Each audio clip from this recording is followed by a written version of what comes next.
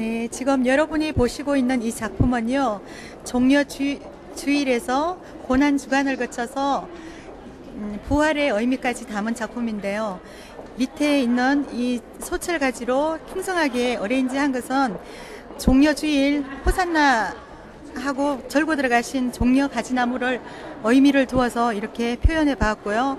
어, 무게감도 밑을 두어가지고 그 고난 주간을 통해서 이렇게 기둥으로 표현해 봤어요. 예수님의 그 힘들고 역, 고난 당하신 그 표현을 어둡고 조금 험난한 표현으로 많이 좀 무겁기도 하고 많은 고민을 여기다 감추어서 담아가지고 이 작품 안에 넣- 연출해 봤거든요. 그리고 부활의 의미를 담아서 덴파레로 흰 하얀 덴파레로만 해서 그러니까 하늘에서 하나님의 성령 같은 은혜가 내려오듯이 이렇게 표현을 해본 작품인데요.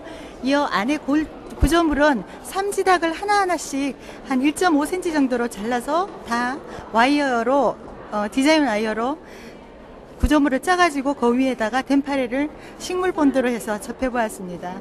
그래서 여러분이 이 작품으로 은혜를 많이 받았으면 합니다.